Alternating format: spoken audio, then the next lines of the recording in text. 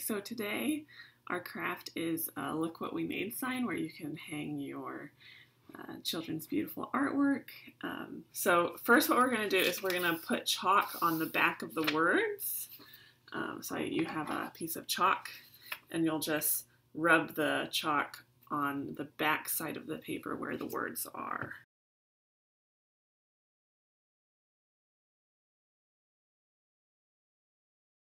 I picked which side of the board I wanted my sign to be on, and then I drew an, a line of chalk about three inches from the top of the board to make sure it was straight. I underlined the font when I printed so that we could see kind of how the words would be straight on the wood. We're not going to paint the underline, we're just going to use that to line up the center.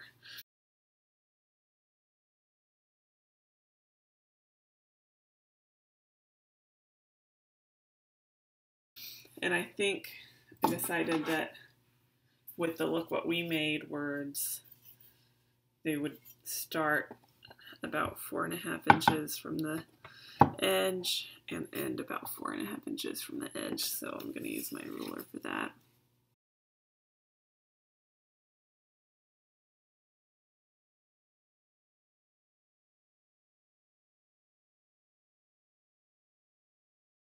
Next step is to take a pen or a pencil, outline the letters, and just push down. You're not, you're just trying to get the chalk to stick to the board around where the letters are.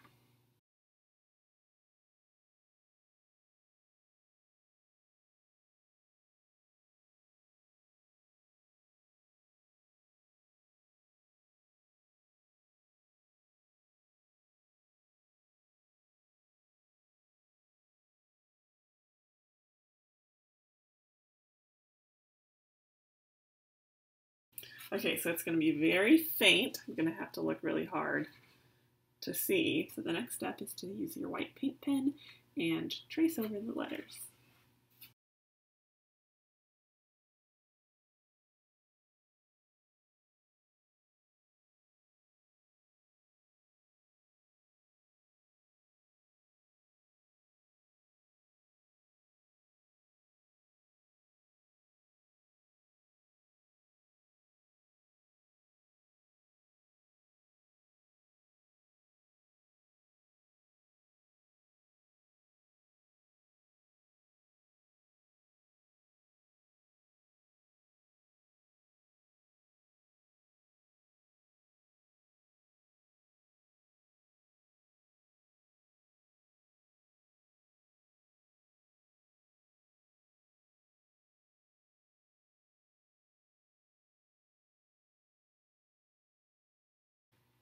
So the next step is going to be, we're going to let the paint dry. We are going to, I think, hot glue some twine across the bottom of the sign and then we'll put some clothespins to hang your kids' beautiful artwork. So I wiped the chalk off and this is what I was left with, so I'm pretty happy with that.